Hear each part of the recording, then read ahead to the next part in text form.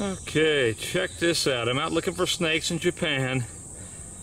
And I've come across this. I'm a little out of breath. I've been riding a bicycle up a hill. But anyway, I think uh, I think this is a flathead worm. I've never seen anything like it. It's probably a foot and a half long.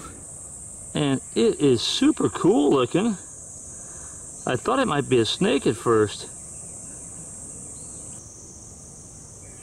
That is too cool. I'm gonna have to look up exactly what this is. It's a really moist day, had some rain this morning. And just a size comparison, you can see how big this guy is.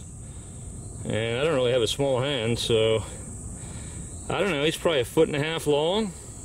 Uh, the mosquitoes are really getting me here, but I want to get as much video of this guy as I can get.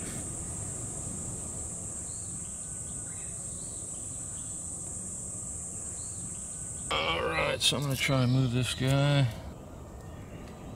Oh, here you see. Look at this. Alright, I touched this guy, and he literally shrank to about half his size. Oh, that was really, really weird.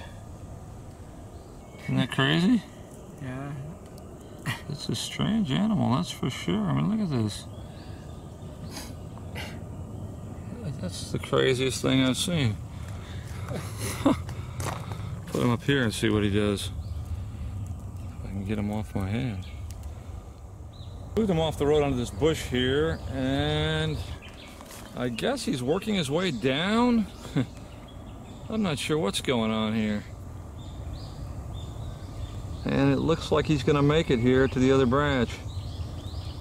That's pretty amazing.